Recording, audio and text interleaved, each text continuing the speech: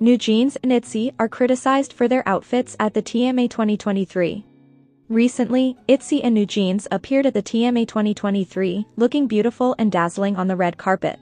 Oh, 바라만 눈 기자님들께 어여쁜 미소로 또 함께하고 좀더 밀착해서 왼쪽부터 바라보겠습니다.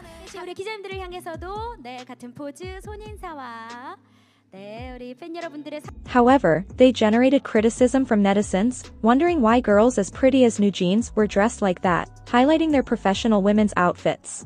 And that they looked like little girls wearing their mother's clothes, commenting that last year's outfits were much better. ITZY's outfits on the red carpet also made the netizens think that while other girl groups appear elegant and feminine, they use a super rude style, wearing completely black outfits. Wondering who told them to wear those clothes, seeming too formal, and that it is not surprising that they are nicknamed a rude girl group, due to their mafia appearance.